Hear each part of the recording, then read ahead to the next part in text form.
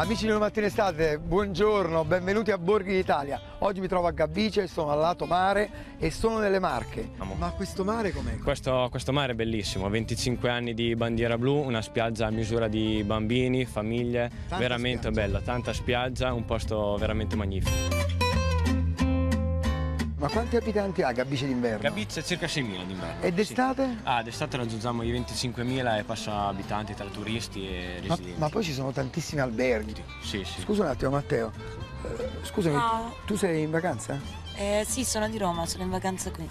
Ci stanno dei ristorantini molto molto buoni, anche, si può cenare anche sulla spiaggia. Ah, Quindi E- c'è una bella vita notturna? Sì, c'è una bella vita notturna.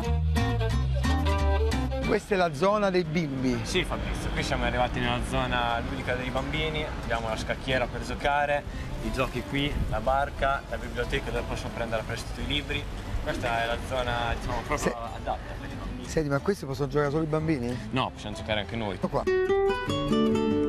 Luca, qui siamo a Gabice Monte. E la storia, che cosa facevano i gabicesi durante la seconda guerra mondiale?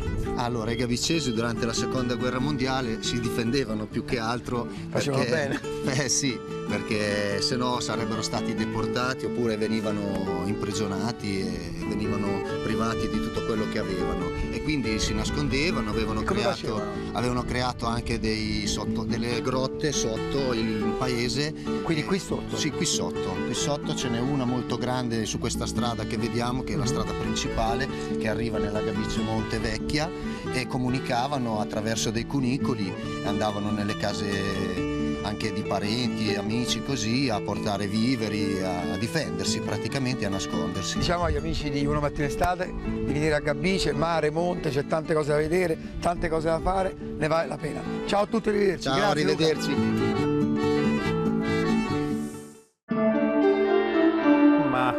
mancare la spiaggia. A Ferragosto siamo andati all'estremo nord della regione dove solo attraversando un, pon- attraversando un ponte si passa dalle Marche alla Romagna. Roberta Balzotti ci porta a Gabice Mare.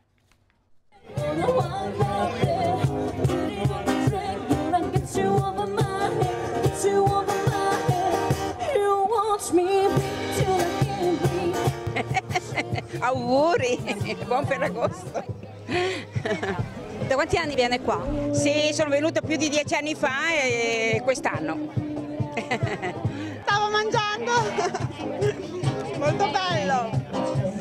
Ferragosto allegro e affollato a Gabicce Mare, all'estremo della costa nord marchigiana, al confine con l'Emilia-Romagna.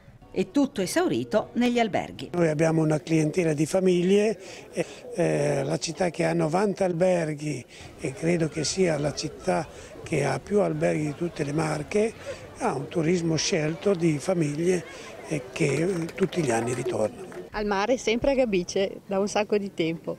Di dov'è? Di Como, ci troviamo benissimo. Ci si riposa ma si fa anche un po' di parole crociate.